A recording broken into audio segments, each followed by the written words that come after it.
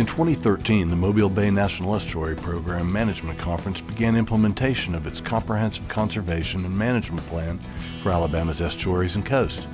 No time was wasted in getting to work. These are dispatches from the field.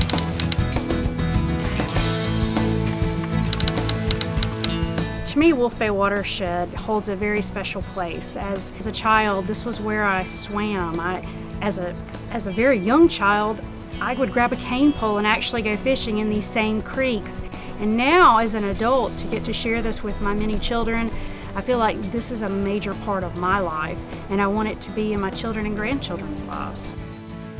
And developing a new watershed management plan to address some of the urbanization effects that have occurred, and also to get you know some of the new data that, that we could use to see where there really are problems. Also to find lands to be able to conserve or preserve for the future.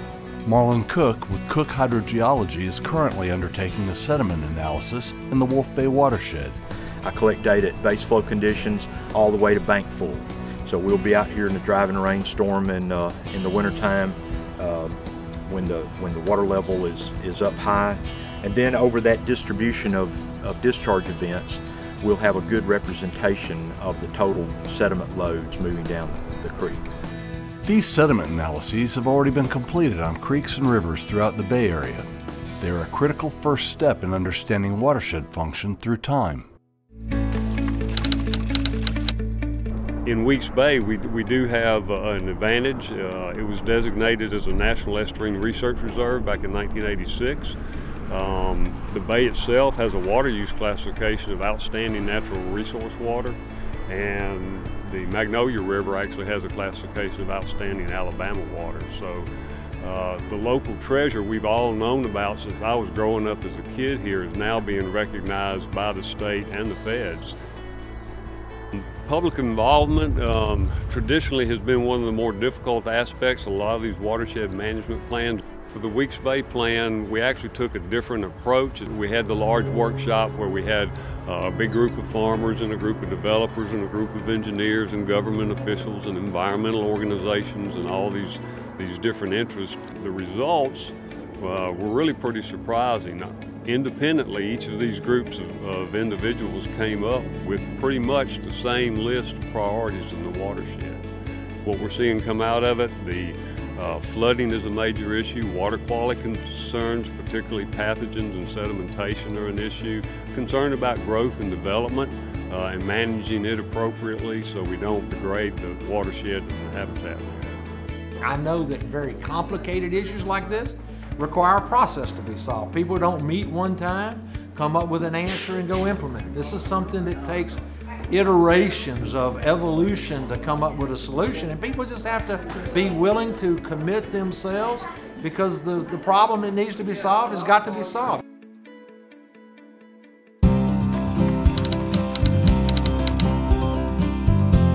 My name is Mimi Fearn, and I'm here on the banks of Hallsmill Creek, which is one of the major tributaries of Dog River in Mobile, Alabama. And I remember when this creek was so clear, the water was so clear that when you swam, you could see your feet. I've seen it change over time, but it's still a remarkable resource. If you look at the water quality data for Dog River and its tributaries, one of the major problems is low dissolved oxygen, and another one is turbidity, or the amount of sediment in the water. Both of those are related to basically runoff from the land.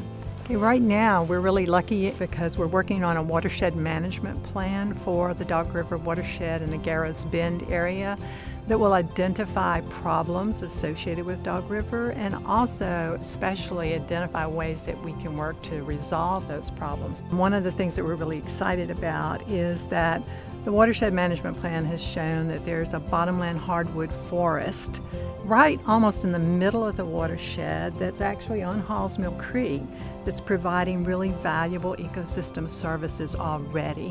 One of the reasons that bottomland hardwood forest works so well is that Hallsmill Creek actually has its headwaters all the way out in West Mobile. It's hilly out there. And where you have steep slopes like that, water moves very rapidly, it erodes, but because it picks up sediment out there, it's very effective at moving that on downstream.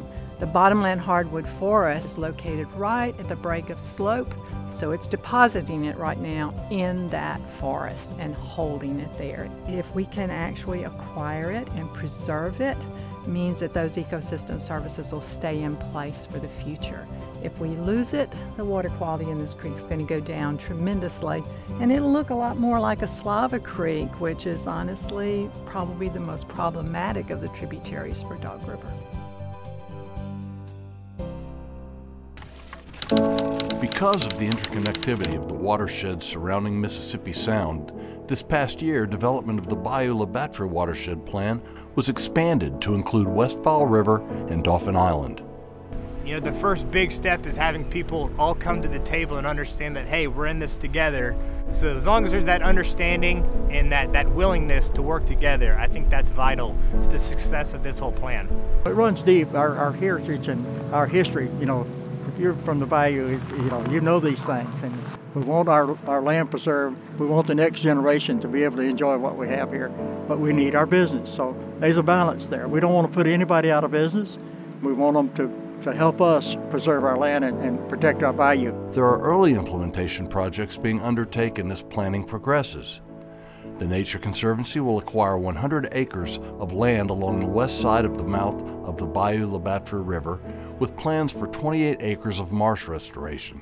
It's really exciting on our end because here we are, the plan's not even finished yet, and we've already got projects in motion. Historically, the family, my, my great grandfather, grew oysters in Bon Secour Bay, and they would harvest the oysters, bring them in, and take them to market in Mobile. One of the first things that happened, I remember, that, that brought a lot of water into the river quickly was when Foley began to, to grow and the uh, drainage ditches there uh, were deepened and widened, and that brought the water here far more quickly and uh, tended to um, tended tended to change the river quite a bit. It silted in more quickly, and in fact, as a family, we don't grow oysters in Bon Secour Bay anymore is because there's, in many cases, there's three, four, five feet of silt on top of where my great-grandfather and grandfather grew oysters. The Comprehensive Watershed Management Plan for the Bon Secour Bay Complex is currently out for public comment.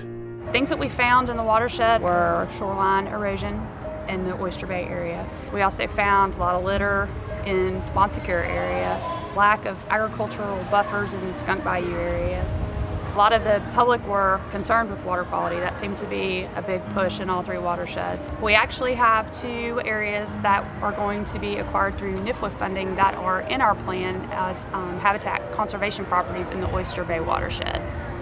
Acquisition of these two sites will protect and restore approximately 935 acres of diverse coastal habitat in the city of Gulf Shores, including tidal marshes, maritime forests, and freshwater swamps.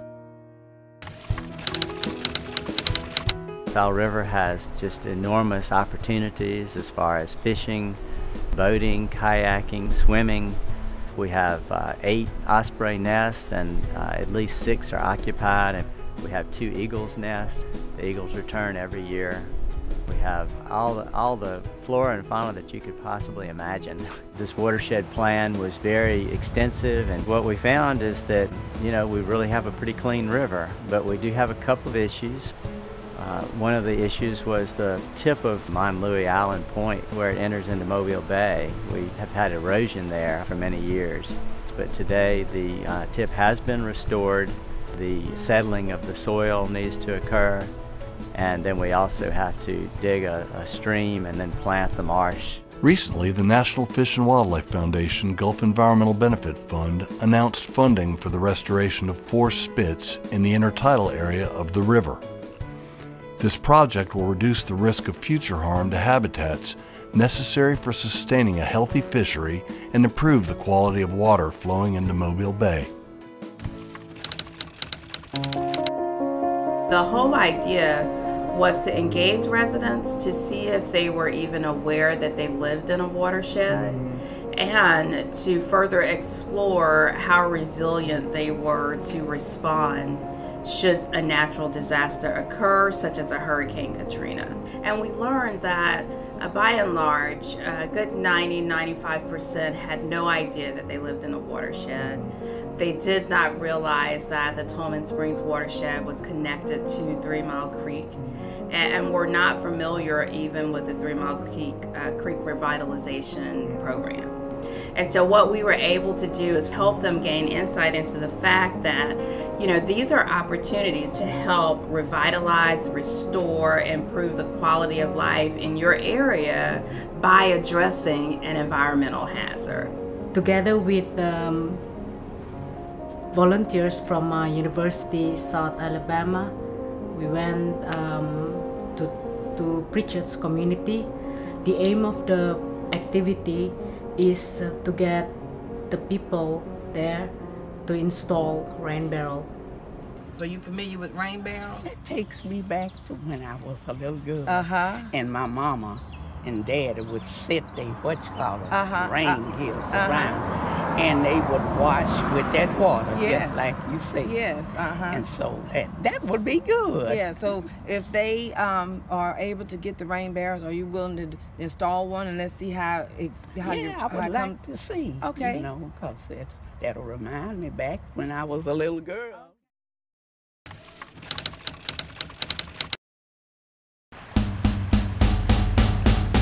We're here today at Tiawasee Creek Stream Restoration, one of the few uh, restorations that the Mobile Bay National Estuary Program sponsored back with the NFWF funds. Um, as you can see, we have reestablished a natural stream environment. We connected floodplain to the stream channel and we're just excited to be a part of this project and also be the owner of it as the City of Daphne. We have joined together cities, state, federal agencies, all types of partners local landowners to come together and restore D'Olive watershed. The leadership of the NEP has allowed us to study the watershed, find the problems, and seek grant funding. And we're seeing tremendous success. Our streams are clear, our citizens are, are happy, and we're really making a difference in the D'Olive watershed. Well, you know, when we first started the project, it, it initiated with an ADEM 319 grant in Spanish Fork called Joe's Branch Step Pools. From there, we, we got funding for 11 more projects. We've implemented the Tiawasee Creek restoration, the D'Olive Creek restoration, and several smaller restorations. Currently are working in D'Olive watershed in the headwaters on Malbis Plantation property east of County Road 13. The unique thing about the, uh, the D'Olive Creek restoration is it has a huge education component. We're not only reaching out to engineers with workshops on stream restorations, but we're reaching Boy Scouts and school programs where they're coming out and touring these sites and understanding the part of restoration and how it plays a part of bringing our environment back to where it should be.